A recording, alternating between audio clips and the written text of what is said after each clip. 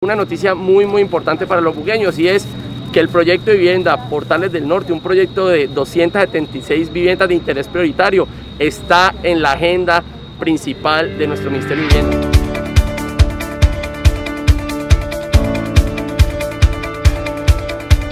Este es un año muy especial para Buga.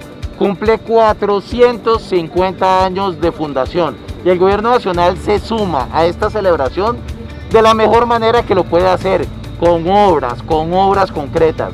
Estamos desde la ESNEDA, en este que digo yo que es el mejor terreno que tiene Buga para construir vivienda de interés social.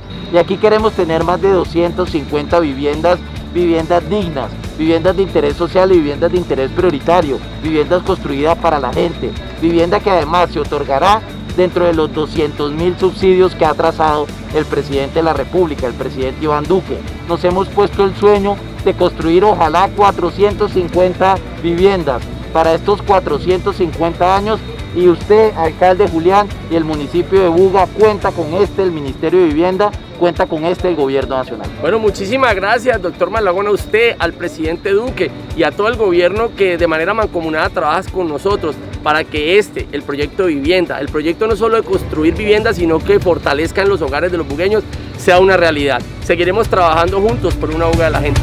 Saludos.